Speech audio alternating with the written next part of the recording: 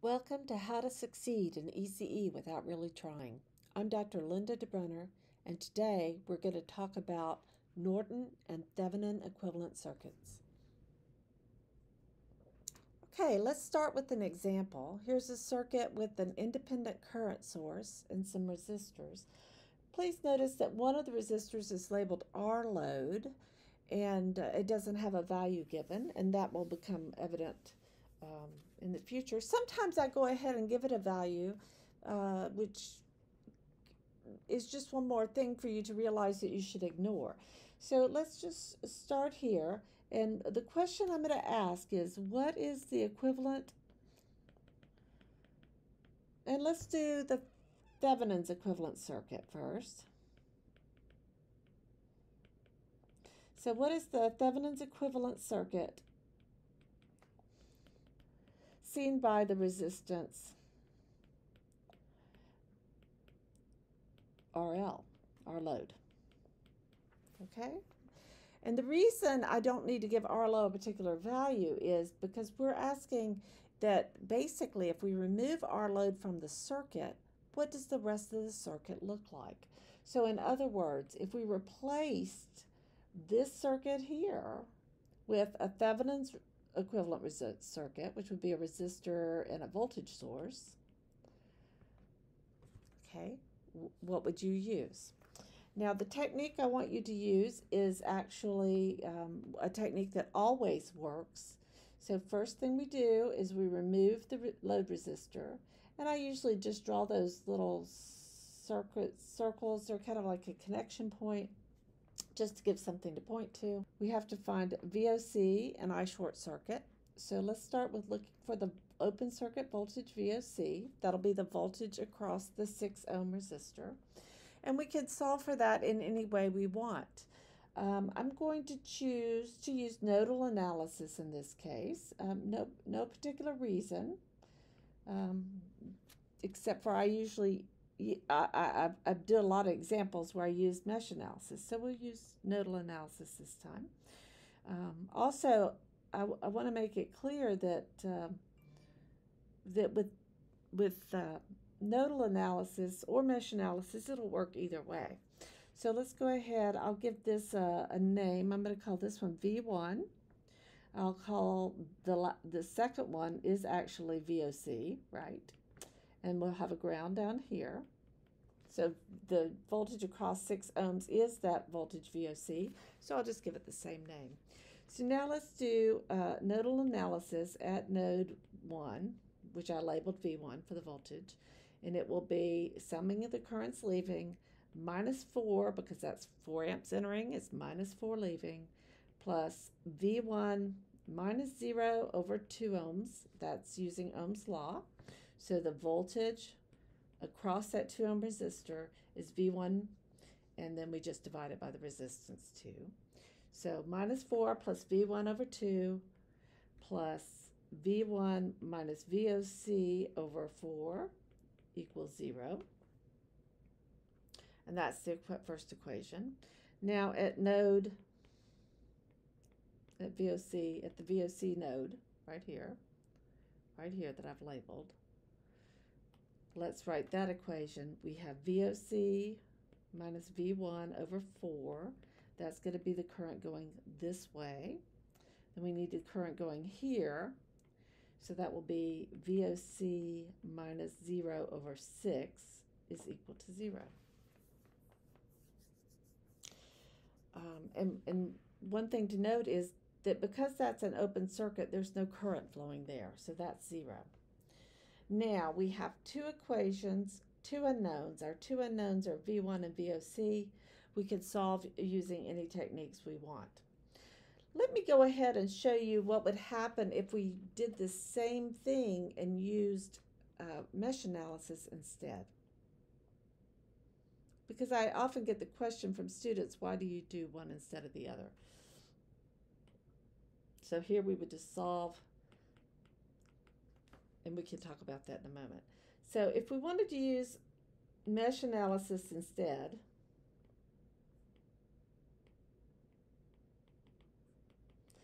we would have two loops, Okay, we have this loop here and this loop here. So we uh, on the surface it appears that we have two two equations. I'll call this I1, I'll call this I2. So it appears that we have two equations, but we can tell pretty quickly that I1 is actually equal to 4 amps. That means that our, our circuit is going to be a lot easier. Okay, so here, let's do the second equation. So as we go around the circle, I like to go from the lower left-hand corner clockwise. So the current through this 2 ohm resistor is going to be I2 minus I1. So you take the, that current times the resistance 2, which will be the voltage. So we were trying to add the voltage from here to here, and then the voltage from here to here, and the voltage from here to here will equal 0. So we have I2 minus I1 times 2, and the only current through here is I2. So we'll add I2 times 4 plus um, the only current through the 6 ohm resistor is also I2, and that's equal to 6, and that'll be equal to 0. So it looks like, in fact, it's much simpler.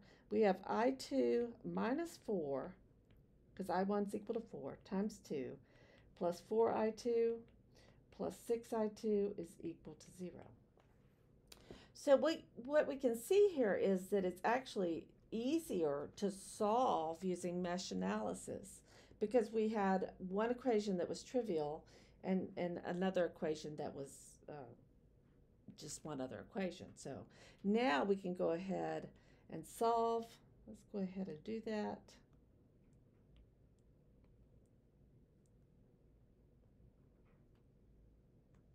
And that gives us, I'll just solve it by hand real quick, 2i2 plus 4i2 plus 6i2 is equal to um, 8, right? It's minus 8 on the left-hand side, so it's 8 on the right-hand side.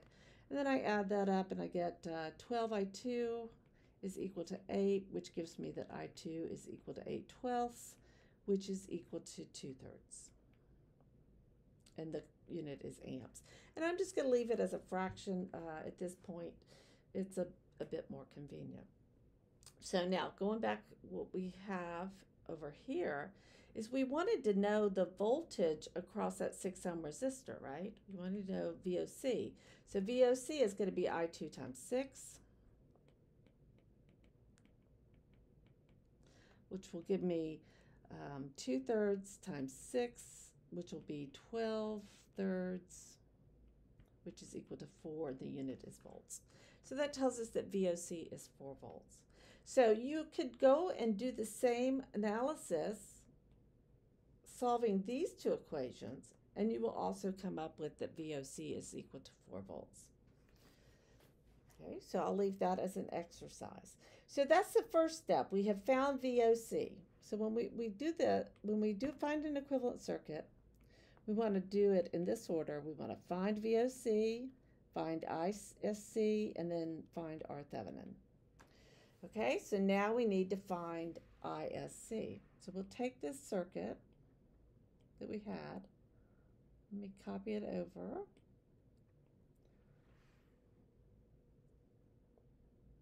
So I can cut and paste. Okay, so we want to find ISC.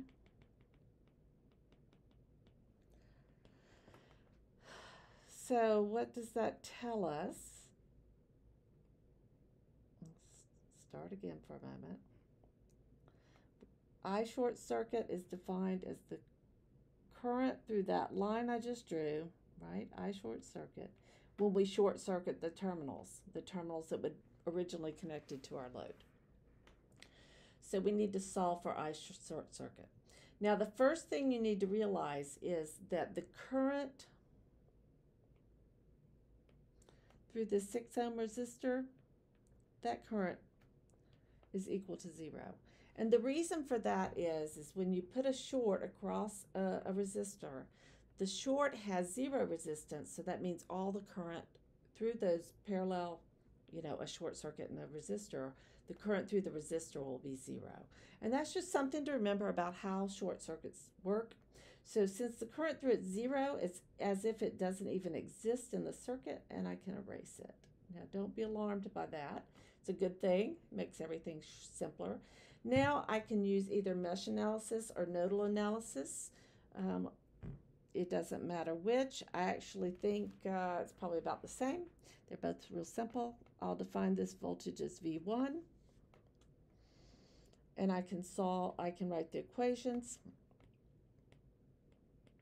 So at the node called, uh, I've labeled V1, we will have the currents leaving will be minus 4 plus V1 minus 0 over 2 plus V1 minus 0, okay, because see again, this is all one node, so it's all 0. So V1 minus 0 over 4 equals 0, and I can now solve for V1, and I get um, V1 times a half plus a fourth is equal to 4. So V1 times 3 fourths is equal to 4. So V1 is equal to 4 times 4 thirds, which is 16 thirds, and the unit is volts. Okay? So you can leave it as a fraction. You can convert it to a number. You can make it mixed. So that would be 5 and a third, whatever you want to do. Um, again, I, I usually find it's easier to leave it as a fraction and then at the very end I write it as a decimal. So now we know what V1 is. So the question is, what's I short circuit? I short circuit is equal to V1 over 4. So it'll be equal to 1 fourth times, what, 16 thirds? So that gives me 4 thirds. So it'll be 1.3333 amps, right? And how many how many digits you use keep as many as you can in your calculator. Again, it's a modeling exercise, so there's no significant digits you need to keep in tr track of because they're actually uh, infinitely precise. Okay, so now the last thing we have to do is find our Thevenins, and our Thevenin will be VOC over I short circuit. VOC, if I remember correctly, was 4 volts. I short circuit is 4 thirds amps, so that will give me 4 times 3 fourths, which will give me 3 ohms.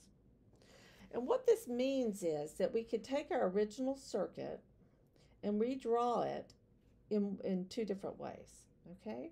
So for